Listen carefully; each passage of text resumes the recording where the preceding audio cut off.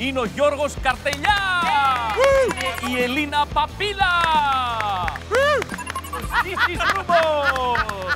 Απονεύρωση ή κολονοσκόπηση; Μία απονεύρωση κάνει στη ζωή σου στο κάθε δόντι. Θεωρούν ότι είναι επώδυνος, με δεν είναι τόσο. Έχεις δίκιο πως παίζουν κάτι. Είναι αυτό.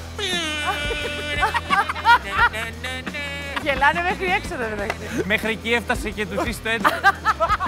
Ψάχνουμε τους έξι κλασικούς τύπους στην παραλία. Μαμά κοίτα, μαμά κοίτα. Οι 100 με το Λάμπρο Φισφή κάθε Δευτέρα, Τρίτη και Τετάρτη στις 10 και 4.